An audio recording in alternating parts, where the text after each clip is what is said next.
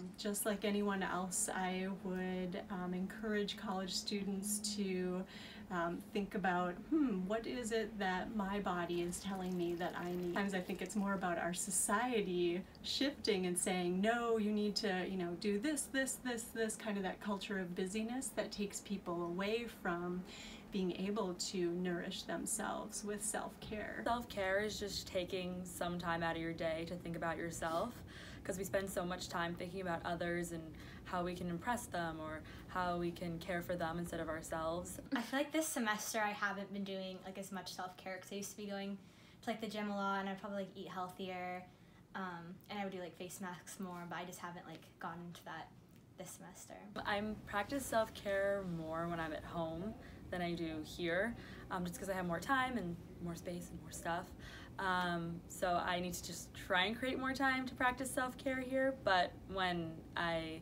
do practice it, I try to take showers and just relax. I'm gonna try to start going to the gym more and like having a better like diet that like allows me to like eat three times a day and eat more healthier foods. I am a big believer that the body will tell us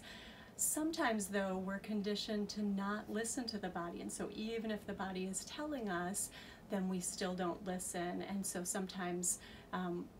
what we might experience worsens over time. So if I'm studying for a really long period of time and my brain is just cluttered with information, it's about taking that 20 to 30 minutes for myself and take a shower, watch something on Netflix, just go on my phone, paint my nails, just do something for myself, and then resume my studying well hopefully I'll be actually like working out and like trying to like go on like more walks and like kind of like free my thoughts and so I'm not like clumped into this room all day um, but that usually helps me like de-stress when I'm taking finals and stuff.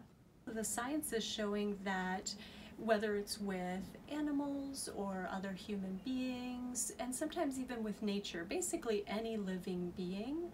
our nervous systems or our uh, livelihood um, connects and so it can be really calming just to have that presence of another living being around us. And sometimes for people, they notice that walking in a forest, being amongst trees, and you know, sometimes birds or animals, other things. Um, sometimes sitting next to Truman, I will notice, you know, if I'm feeling rushed or um, like my breathing is picking up or my heart rate is picking up,